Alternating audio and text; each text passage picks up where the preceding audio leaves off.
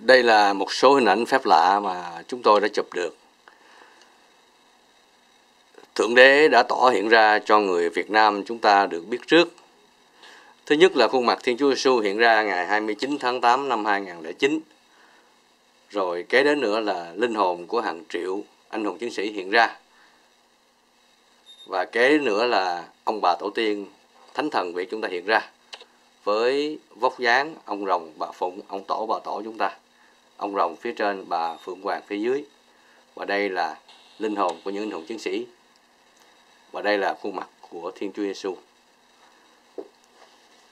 rất rõ ràng đồng bào có thể vào uh, trang website của chúng ta. Uh, hội đồng cứu nguy nhân loại trên tất cả những trang uh, website internet. Đồng bào cứ vào đánh vào hội đồng cứu nguy nhân loại thì sẽ xem xét được tất cả những hình ảnh phép lạ. Vĩ đại của thượng đế tỏ hiện ra để hướng dẫn nhân loại làm cách nào để vượt qua thời mạt kiếp, tận diệt đang chuyển qua thời thánh đức.